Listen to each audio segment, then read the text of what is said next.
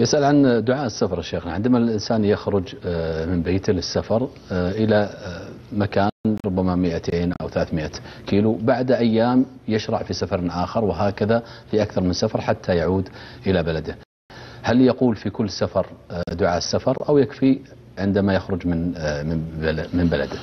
إذا كان سيسير مسافة القصر 80 كيلو فأكثر فيأتي بدعاء السفر لأنه سيسافر عدة سفرات.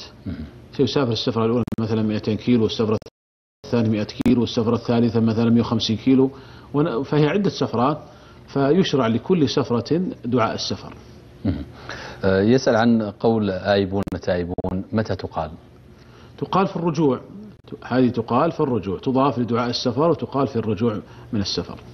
هل شيخنا عندما يشرع في الرجوع أو عندما يصل إلى بلده عندما يشرع في الرجوع يعني عندما يأتي دعاء السفر ويشرع في الرجوع يقولها.